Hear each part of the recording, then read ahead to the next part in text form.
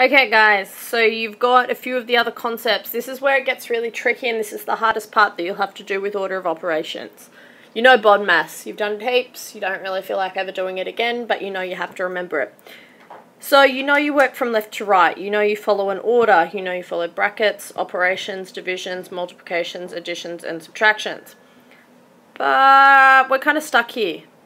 We've got heaps and heaps and heaps and heaps and heaps and heaps of brackets. We start on the left, we scroll to the right. What the hell am I meant to do? We've got 4,000 brackets here. So, this is how we do it. We work out the sub brackets. So literally, I can see everything in here is surrounded by this bracket. Which is saying this divided by all of that. Not just divided by 6, divided by everything that is on that side. That what That's what that big bracket is saying. So it's saying that's one idea.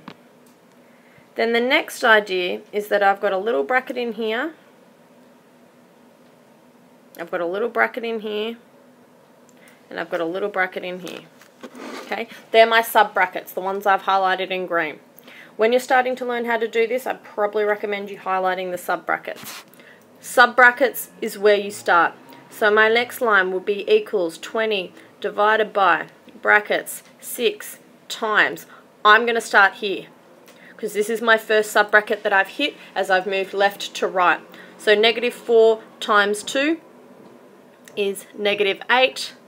I keep it. I divide by negative 12 minus negative 1 brackets, brackets again.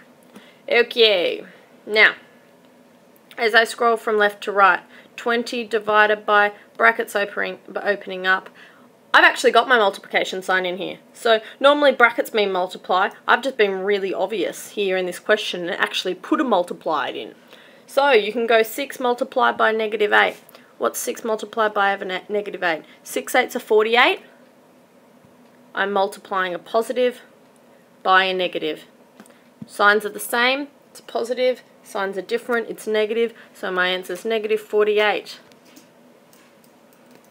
Divided by brackets negative 12 minus brackets negative 1 brackets brackets again. Okay, let's see what I can do next. 20 divided by negative 48. Oop, brackets. Make sure you keep the brackets divided by, uh, I can't really do anything with this guy so far, negative 12, so I'm going to leave him. Ah, what's this? Brackets mean multiplication. I have a negative here. I need to multiply that with whatever I've got because that is directly next to the brackets. So, a negative multiplied by a negative is a, what's that? It's a positive. Okay, so that becomes, becomes Oops, sorry guys. That becomes positive 1.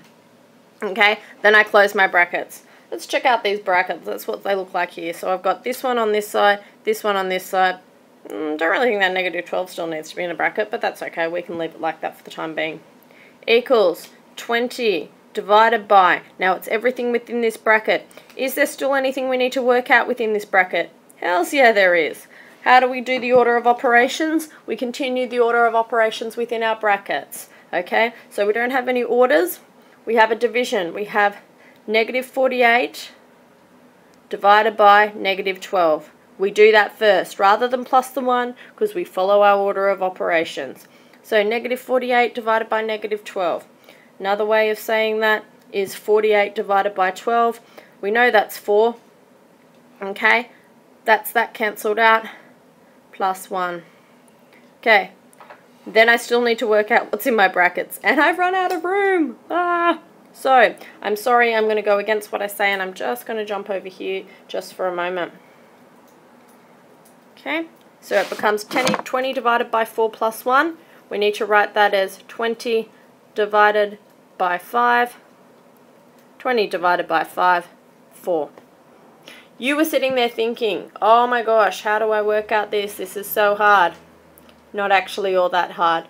Really quite easy. All you need to do is follow the orders of operation.